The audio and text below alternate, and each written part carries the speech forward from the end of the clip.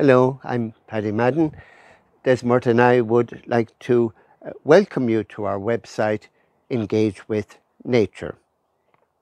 This website covers biodiversity, um, seasonal nature and organic gardening. All in all, it encourages people to tread lightly on the earth. Marrowfat peas are easy to grow. Their young uh, leaves and shoots make uh, wonderful additions to uh, salads or sandwich fillings, or they can simply be eaten raw. So you will need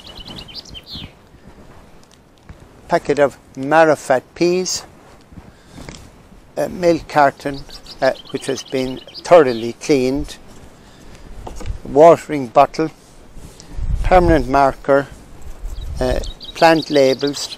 I use lollipop sticks, scissors, peat-free potting compost, uh, recyclable plastic or cling film if you can't get that, and grit.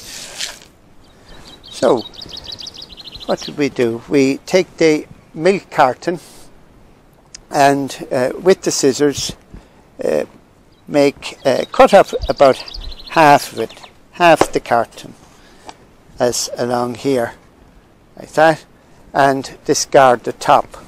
Then uh, using the bottom part make holes in the bottom uh, with the scissors so and then put some potting grit into the bottom to act uh, help with the drainage. they will grow even without that, but it's just a help. So fill with uh, peat-free compost uh, nearly to the top. When you get nearly to the top, tap it uh, to let the compost settle. Fill it nearly to the top again. And uh, water well. then wait until the water has uh, drained out before sowing the marrowfat seeds.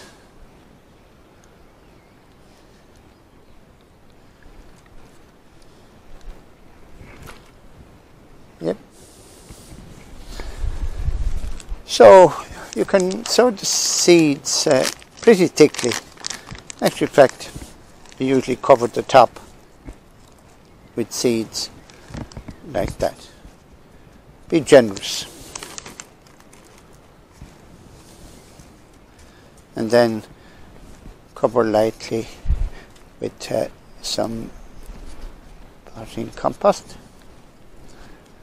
give them another little watering.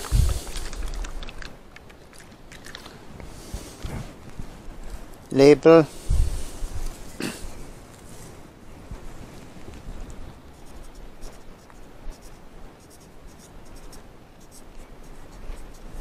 and put the date at the one side.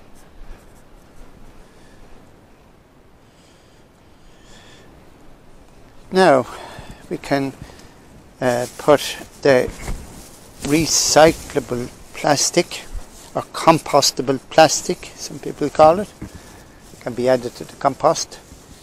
Uh, we can put this on top uh, to keep the moisture in and the heat in. Just leave it on a saucer on a warm windowsill. Within a few days, they will have germinated. And when they're about uh, 10 centimeters, be about that height.